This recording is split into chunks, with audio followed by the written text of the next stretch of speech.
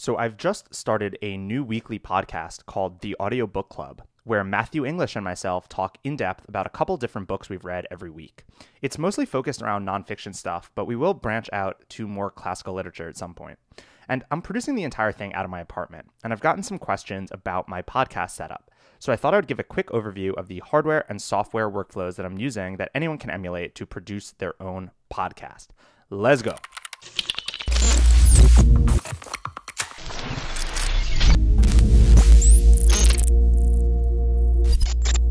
So this is a diagram I made of my AV setup, and I know that it might look confusing at first glance, but I promise you that it's not. And I'm going to cut to a shaky cam video I made where I go over each of these pieces in more detail, and I'm going to leave this diagram here in the bottom right corner for your reference. All right, so this is the podcast setup in my apartment. This is a 77 inch table that I have here. For comparison, most dining room tables are around 84 inches, so this is slightly smaller than that but I wouldn't want to go any smaller for a podcast setup. I actually think this might be a little too small. I'd rather have something bigger. Anyway, let's start with the mixing board. So this is an Xenyx X1222 USB six channel mixer. And this is probably overkill for what you would need for most podcasts. I just am using it because I happen to have it already. Um, you probably want something that's at least three channels because you want each person um, recording their voice to have a channel. And then if you have a producer, you might want them to have their own channel, or you might want to just have a third person on. So you probably want at least three channels. And this mixing board is how you can adjust each um, guest volume individually, the gain, and then you can equalize out the different low, medium, and high tones of each person also. And you're gonna probably want to start messing around with this because you'll notice as you start doing any kind of audio production that different people speak in different frequencies. So some people just have lower voices than other people, and you might need to adjust the low tones when they're talking so that your your, your mixed audio sounds good and it's not too bassy for the person that doesn't have the low tones. And then this audio gets mixed together and it comes out via USB in the back. Now the mics that are going into this. Um, the most important thing of any podcast setup is going to be the actual microphones that you're talking into. So I've experimented using a couple different types of microphones. These are the Blue Yeti USB microphones. These are the most uh, popular things that people buy when they're just trying to record audio for the first time. Uh, you can just buy them at like an Apple store or anything like that.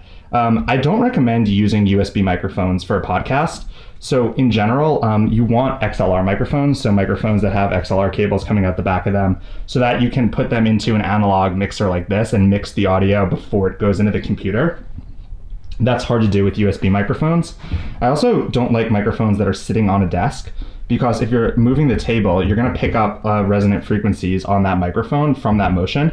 So you definitely want microphones that are easily able to mount on a boom if you're going to do any kind of podcasting. Uh, this is a $100 mic. This is an Audio Technica AT2020. And then these are $400 mics. These are Shure SM7Bs. I've messed around with the quality between both of them, and I find that the Shure ones do sound noticeably better. And I think that for the most part, when you're doing any kind of like homebrew audio setup, you can just cheap out on basically all equipment and just buy the cheapest version of everything. But for the actual individual mics, I don't recommend cheaping out. I actually recommend getting good microphones. And that might require you testing out different kinds, but you might need to expect to shell out for the actual microphones themselves. I mean, making a podcast is hard enough, you know, trying to get people to listen to what you're saying. If your audio doesn't sound good, you're just basically kneecapping yourself and making it harder than necessary.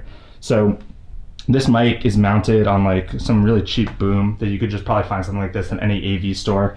And then this goes via XLR cable into the mixer. I should note also, I have these Cloudlifter um, mic activators in between the microphone and the mixing board. And all this is going to do is it's going to amplify the gain on the microphone. So it's going to make it louder when it comes into the mixing board without like losing any quality. Because these Shure mics happen to be really low gain microphones. So they're really soft when they come into the mixer. And I, you don't actually need these. Um, you can just boost up the gain on your mixing board to make the volume louder. But I like using these because I don't want to have my gain all the way up because I want like more fine adjustment. And I would rather have the problem of my audio being too loud and having to adjust it down than not loud enough and having to yell into the microphone. So I'm using these mic activators, which are really good. Uh, I definitely recommend these um, because they make the audio quality still sound really good while um, the, it comes into the mixer at a high volume, which is really good. Uh, okay, so This is the same setup on this side with the mics going in via XLR cable to the mixer. Then I have an aux cable plugged into the mixing board here. And this goes out to this Pearstone headphone amplifier. So what this is gonna do is gonna take the uh, audio, the mixed audio coming out of the mixer, put it into this guy, and then you can plug four different pairs of headphones into it, and you can adjust the volume on each of them individually.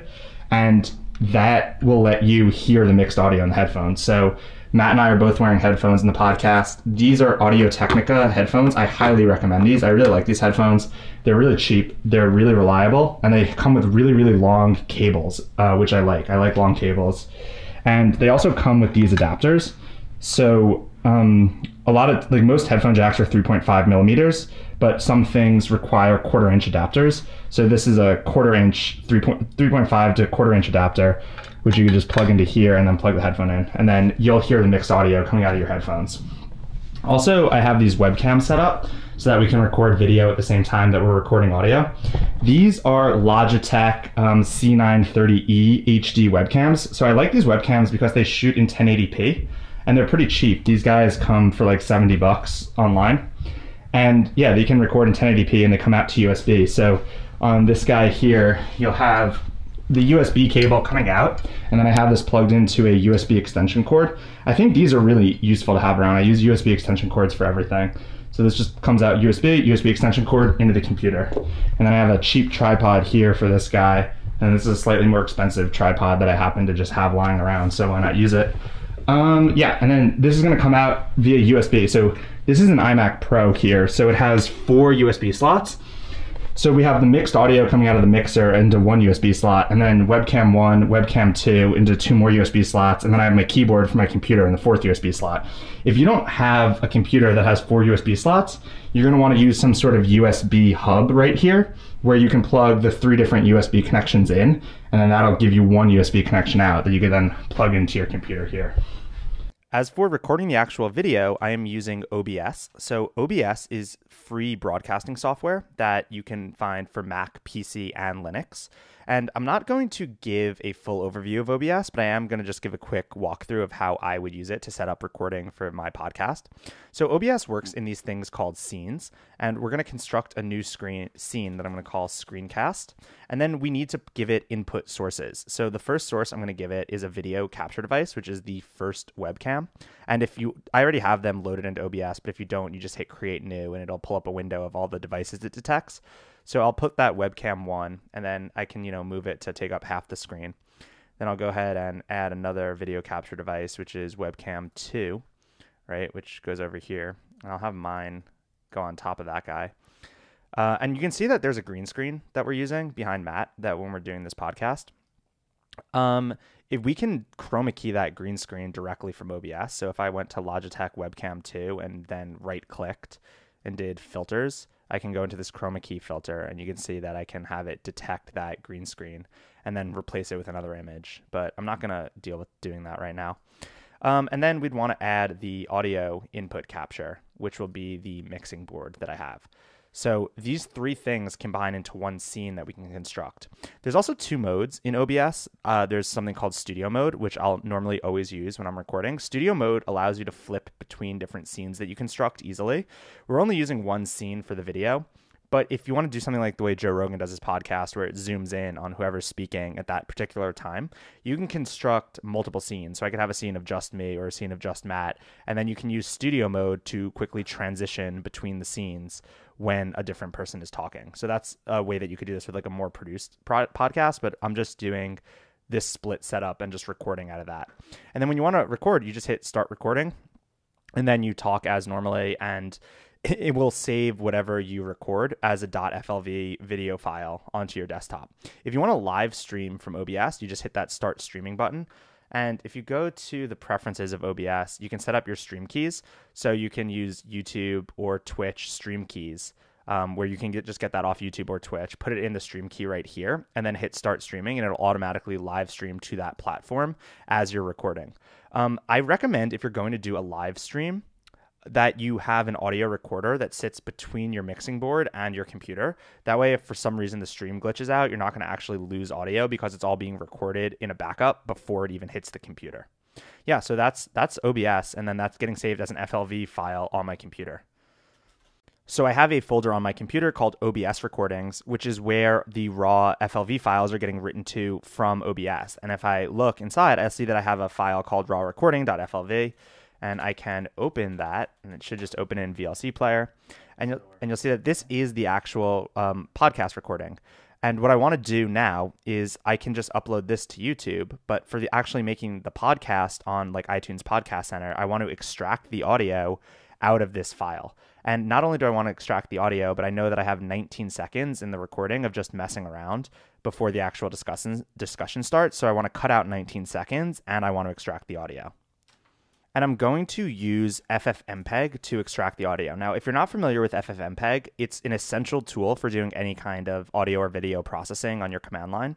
So FFmpeg is free software. You can install it just by doing brew install FFmpeg. And I mean, there's a lot to know about uh, FFmpeg. It's an incredibly powerful tool, so you can just read about it online.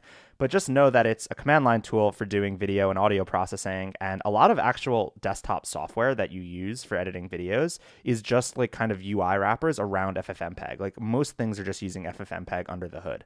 So one thing that I can do to extract audio is I can do FFmpeg and give it an input file. So I'll give it that raw recording.flv as an input.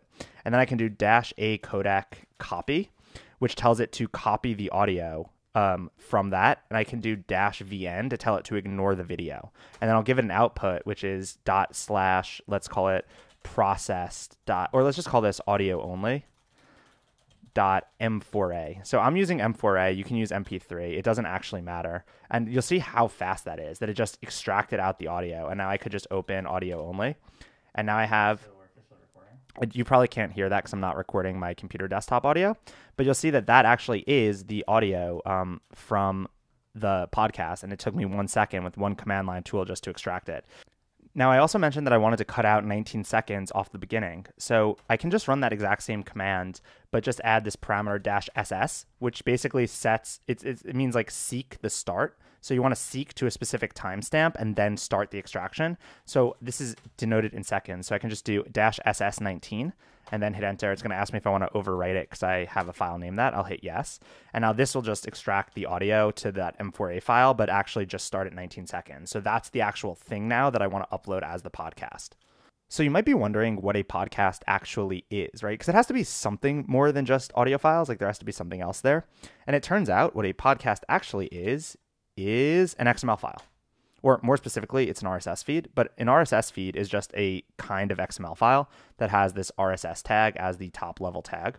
And that just tells the readers that it's using the RSS specification because XML can be arbitrary data and RSS is just a subset of that. Um, yeah. So, anyway, an RSS feed is just an XML file. And this contains all the metadata that podcast readers will use about your podcast, right? So I have a tag here called description that says Jordan Lee and Matthew English talk about books. And then if you look at the representation of our podcast on YouTube under this description, it'll say Jordan Lee and Matthew English talk about books, but that's coming directly from this RSS file. So I'm going to link to this file in the description of this YouTube video in case anyone wants to take a look at it. But you can also just look on the internet also for all the different tags that you have um, and what different podcast readers expect. Now, when you want to add a new episode, episode to a podcast, you just add a new item right here. So each item represents an episode. So for example, the one that we just recorded is about Sapiens, Homo Deus, and 21 lessons for the 21st century. And you'll give it the title, the description, the summary, and you'll see that that's what, you know, shows up here, the published date, the title, description, the summary. But more importantly is you have to give it an enclosure and a URL. So right here is the most important part of each item. And this tells um, you where the podcast is hosted. So when you try to download a podcast on your mobile app, you have all the metadata from this feed.xml file, but the metadata is going to link to a public URL where you can actually download the podcast from. Now, there are a variety of different podcast hosting services, things like Libsyn and Blubrry, But as far as I can tell, they're kind of pointless because all that they're really doing is just hosting the episodes for you and then charging you a monthly fee for the service. But you can host the episodes at any public file storage system. So I don't really get the purpose of these hosting things. I'm just hosting them myself. And I'm using AWS S3 for hosting, right? So I will upload a new episode and I'll say that the link to this episode is in episodes slash 5.m4a of my AWS account. And I've done an entire um, episode on AWS S3 before, so I'll link to that right here. So if you're not familiar with S3 at all, you can go check that out. But all that you need to do to publish a new podcast episode is you'll need to re upload the RSS feed. So the feed with the new podcast that you added. Um, you need to make sure to grant public read access to the file so that the podcast readers can read it. Um, and just hit upload, and that uploads the new feed. And then I will go to episodes and I would upload the new episode. So that M4A file that I just recorded, I'd upload that new episode right here. And then all that you're going to need to do to publish it, right? So now you have a new feed that has information about the podcast. You actually upload the audio file to S3. And then I would go to iTunes. So you got to go to podcastconnect.apple.com, which is Apple's podcast hosting portal. I'll go to the audiobook club. And this is where you tell iTunes where your your RSS feed is. So when you first create the podcast, you just need to give Apple a link to your public RSS feed that can just be hosted in S3 and then they'll approve the podcast. And then when you want to publish a new episode, all you need to do is hit refresh feed. So when you hit refresh feed, that tells Apple that there's new information and to go ahead and resync the latest RSS feed. And then whatever new episode you have will show up on iTunes, and anyone that's using the podcast app will get it. Um, so yeah, that's how I'm recording and publishing a podcast out of my apartment right now. So check out the Audiobook Club on iTunes or on YouTube. I think that we're doing some pretty good stuff with it, um, and we're only getting better at it. So that's going to be something to keep an eye on. And then I've kind of been on hiatus from creating content over the past few months, but going to start getting back into it. So look out for some new coding videos coming soon. All right, peace.